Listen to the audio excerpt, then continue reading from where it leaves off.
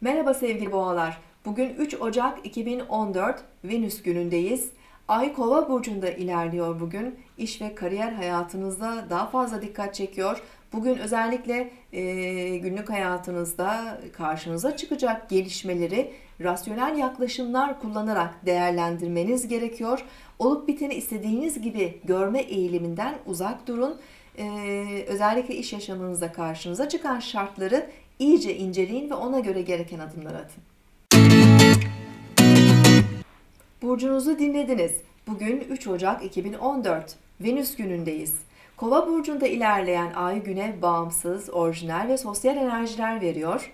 Bugün Güneş ve Mars arasında kare açı e, kesinleşiyor gökyüzünde. Özellikle kazalara karşı riskli enerjiler artıyor. Dikkat etmek gerekiyor. Bunun yanı sıra Merkür-Jüpiter arasındaki karşıt açıda iletişim, seyahatler, eğitim ve hukuksal konularda riskli tavırlar ve abartılı tutumlara neden olabilir.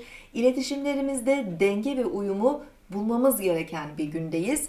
Öğleden sonra etkinleşecek Ay-Mars üçgen açısı enerji ve motivasyonumuzu arttırabilir.